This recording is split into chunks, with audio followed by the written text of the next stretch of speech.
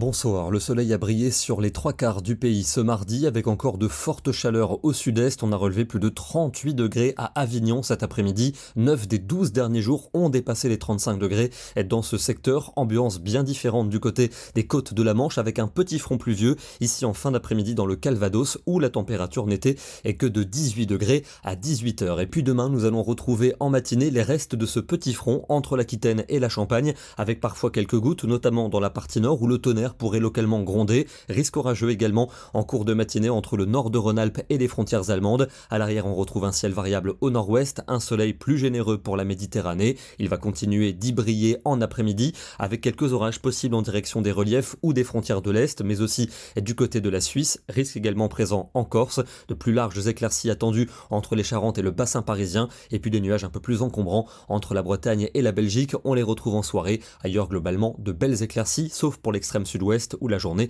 sera entièrement nuageuse. Les températures de la matinée évoluent entre 12 degrés à Rennes et 25 degrés déjà à Perpignan où il en fera 35 en après-midi, 36 pour le Languedoc. C'est beaucoup plus raisonnable pour les autres régions, notamment au nord avec 20 degrés pour Calais, 23 pour Amiens, 24 à Reims ou encore 25 degrés du côté d'Angers. Jeudi, on retrouve un soleil généreux sur les trois quarts du pays, encore quelques ondées vers les reliefs et quelques passages nuageux au nord, des températures qui vont remonter en après-midi avec 27 pour Rennes, 28 à Paris, 31 à Lyon et on attend 36 degrés à Perpignan avec 25 degrés dès l'aube. Le soleil qui reste généreux vendredi dans le sud, dans le centre et dans l'est du pays, mais de nombreux nuages sont attendus entre la Bretagne et la Belgique. Il pourrait d'ailleurs donner deux ou trois gouttes avec des températures tout à fait raisonnables dans ces régions, alors qu'ailleurs la chaleur sera souvent forte avec 30 degrés prévus en Alsace ou en Bourgogne, 31 pour le Bordelais, 33 degrés à Toulouse et Lyon et à Perpignan on attend 25 à l'aube et 37 degrés en après-midi.